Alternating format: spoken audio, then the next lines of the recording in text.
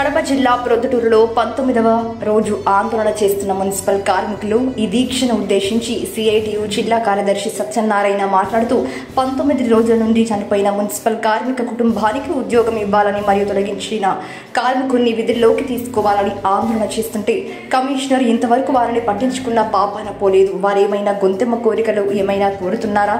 కేవలం మా ఉద్యోగాలు మాకు ఇవ్వండి అని మాత్రమే అడుగుతున్నారు. కానీ ప్రజల మలనాలను రోడ్లు శుభ్రం చేసి కసువు ఊడ్చే వారిపైన ఈ రకమైనటువంటి విధానాలను పాల్పడడం మంచిది కాదు అన్నారు. అని చెప్పేసి కూడా కమిషనర్ గారు చెప్పారు.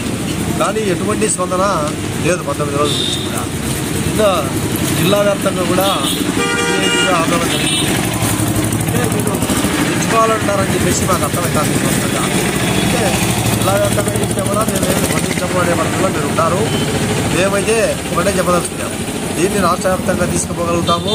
అవసరమైతే మినిస్టర్ కానీ సీఎం కానీ కడప జిల్లాలో ఎక్కడికి వచ్చినా కూడా అక్కడ అడ్డుకునేదానికి కూడా మేమందరం జిల్లా వ్యాప్తంగా మున్సిపల్ కార్మికులందరం కూడా పోయి అడ్డుకునేదానికి కూడా ప్రయత్నం చేస్తాము.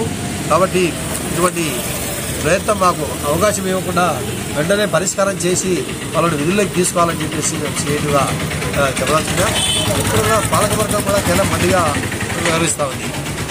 దేశమంతా కూడా మున్సిపల్ కార్మికులు కరోనా టైంలో ప్రజలందరూ ఇళ్ళలో ఉంటే వీళ్ళు కరోనా వచ్చిన పేషెంట్లకు సంబంధించిన మలినాలను అయితేనేవి కసువులు దొప్పడం అయితేనేవి ఇవి కూడా పని చేస్తున్నారని చెప్పేసి ఎక్కడికక్కడ వాళ్ళకు పూలదండలేసి జైజేలు పలికి వాళ్ళకు సన్మానాలు చేశారు శాల్వాలు కప్పి మనం ఇవన్నీ ఎక్కడికి పోయినాయి? ఇంత మానవత్వం లేకుండా మనం ఉన్నామా సమాజంలో?